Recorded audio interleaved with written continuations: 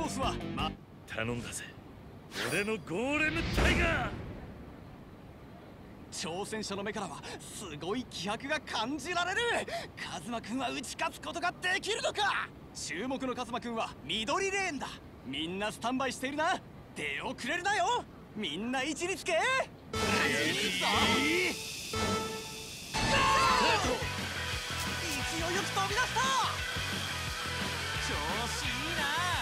何が起こるかわからないのがポケサーだポケサーなら帝国上も大歓迎だぜ。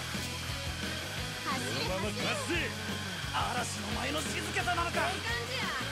そのまま行けよ。先頭を走る。レースも後半戦に突入。そのまま行けよ。何が起こるかわからないのがポケサーだのカスタマイズが光っているここでブースト勝利へ加速だいよいよトップでゴールおめでとう